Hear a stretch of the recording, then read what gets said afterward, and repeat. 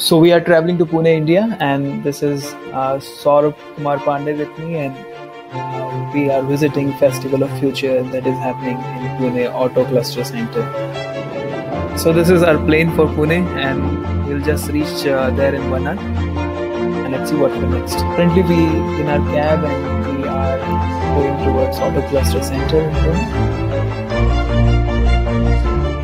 So here comes the Future of Festival, and people are all there to join So all arrangements have been done for the in some time. Setting up promotion stores and doing basic setup, I think is helping the future of. So this is uh, where we just uh, launched the event and and we going to start it.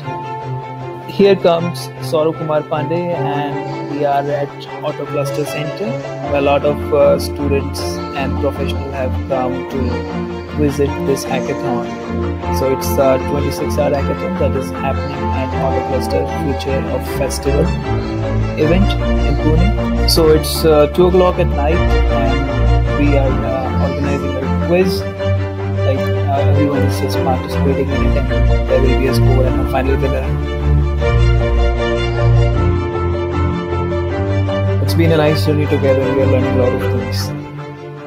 So our team is handling the crowd and uh, doing check-in for all the participants. So it's uh, night three o'clock and we are distributing uh, Maggi for all participants to get some energy for the hackathon. So th- that's it for this vlog and I'm very much excited to share more in future.